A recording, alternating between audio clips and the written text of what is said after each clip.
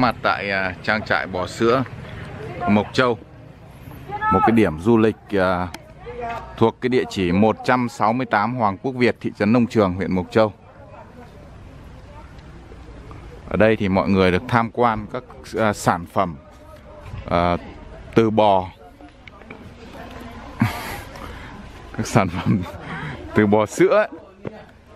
Bánh sữa này sữa tươi, sữa chua một số sản phẩm khác.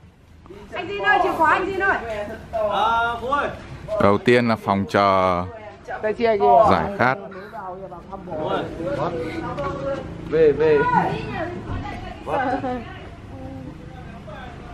Đây đâu chịu cái bò sữa không? Rồi.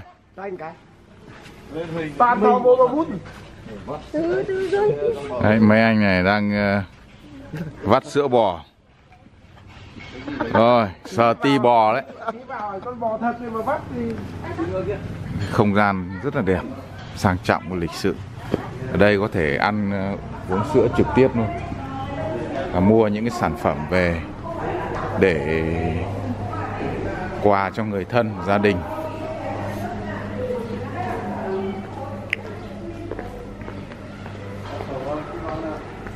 Đây là dê à, cừu cừu lấy bò ô cơ à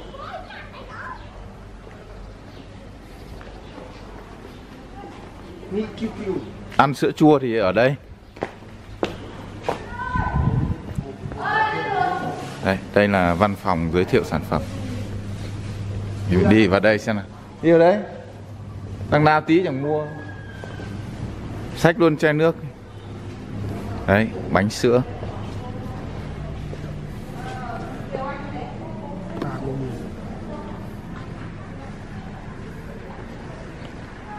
ơ mấy ông kia đâu nhỉ? Ngoài mua vé. Đi làm mấy hộp bánh sữa vì làm quà ca cao này hay phết? Đây là nơi ờ, bán vé. 20.000 một lượt. Để đi tham quan những cái chú bò. đây đây đây. Đây đây Đây này, coi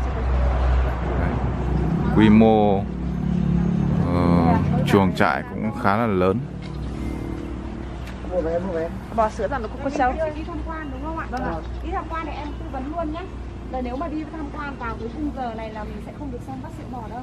Chỉ có một bò thôi và trong trang trại có bò, có cừu, có khỉ. Thế còn đi vào cái khung giờ này thì sáng nay đã kết thúc quy trình bắt sữa rồi. Ôi, ok. Ờ, nếu như mà đoàn nhà mình mà muốn xem bắt sữa thì phải 4 giờ chiều quay lại. Có bắt sữa. 4 giờ chiều và mấy giờ sáng chị nhỉ? Chị ơi, chị có đánh, đánh bò đây à? Còn ở đâu nữa không? Ờ, đúng rồi. Ở trong à, ở trong trang trại à, của công ty thì chỉ duy nhất một trang trại này là các chị được ờ, vào tham quan. Còn lại là à, 570 mấy trang trại kia là sẽ không được vào. 574 trang trại kia là sẽ không được vào tham quan. Để à, thường thường là khách du lịch là các chị thường hay tưởng tượng là một trang trại nó phải rộng nó phải hàng Vâng, nghìn vâng. hàng mấy nghìn con cơ nhưng mà ờ, ở cái mấy nghìn con đấy thì công ty không ờ, không không nuôi nhiều như thế công ty chỉ có mỗi ba ba trung tâm là mỗi trung tâm khoảng hơn một nghìn con nhưng ở đấy khách du lịch cũng không được vào tham quan. Và để đảm bảo vệ sinh giữa người và vật nuôi thì công ty tách riêng ra từng trang trại như thế này.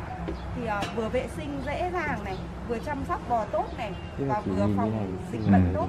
Ví dụ như là có bệnh dịch thì nó chỉ không lan rộng ra nhiều Vâng. chỉ ở trong một khuôn khổ bé thôi Thì mỗi này là người ta chị đập. Thế bạn, bạn, bạn em mà muốn vào thì có được vào chỗ các chỗ cỏ biết có có không? Đồ À, Ờ, cỏ thì ở bên cánh đồng bên tay tay tay phải này nhà nhà em là có cánh đồng cỏ này nhưng thực ra là cánh đồng khi mà quay Tức chỉ có mỗi khu vực này thôi. Còn nếu mà mình đi lội xuống thì nó rất là rộng mà nó lại phân phân vì, vì à, thực tế thì ừm, quay khi quay trên truyền hình quay cao thì nó đẹp. Đẹp.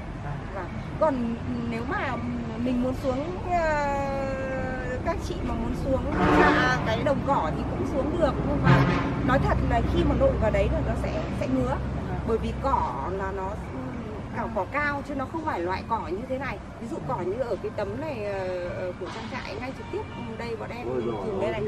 thì là buồn ra chú này quá chú vào muốn ôn trực tiếp Ờ, rồi chị ơi, thế ví dụ chúng em mua với vé này thì chúng em sẽ được tham quan những gì ạ? Ngoài cái phát này còn những gì ạ? Ờ, bát sữa bò thì bây giờ không có. Vâng, vâng, Thế còn đây cái gì ạ? ngoài lại ngoài lại thì bây giờ các chị có thể vào nhìn bò này, cho bò ăn này và có mấy con cừu bên à, bên bên tay à, phải à, tay trái. Vậy thôi Nam Nam Nam vào. Cho nó vào Cho nó vào. Do Tam Bảo sắc xếp rụt Bản lá 5 sen, Rất đẹp. Ở trang trại sữa Mộc Châu.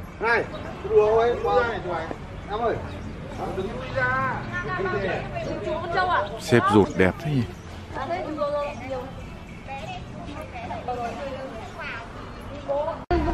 Quay giới thiệu sản phẩm ờ, từ sữa.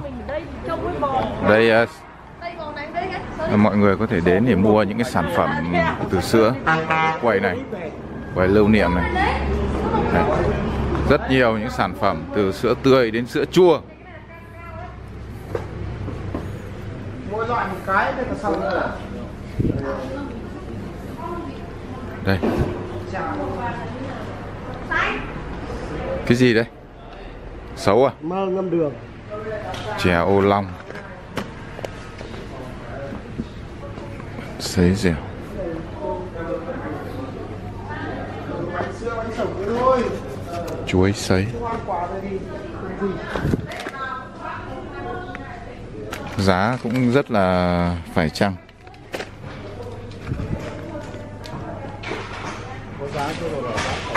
Đây đây. ba năm nghìn. Mận cơm sấy có 35 nghìn.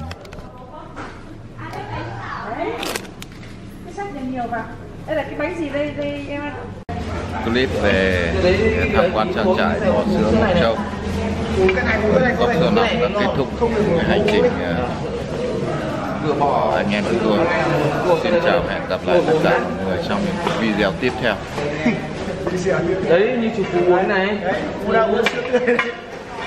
Ngồi đây con. Rất ngon.